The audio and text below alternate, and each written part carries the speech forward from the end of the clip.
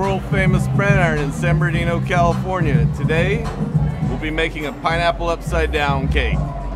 Start out with an ounce of whipped vodka.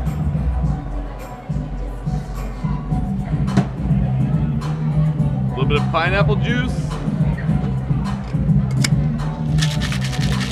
Shake it up till it's cold.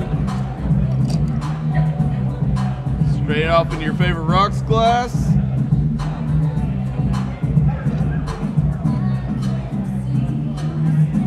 Little bit of grenadine for color. Cheers. Come out and see us at the Iron.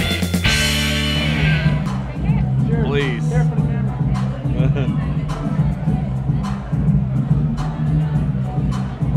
All the way down.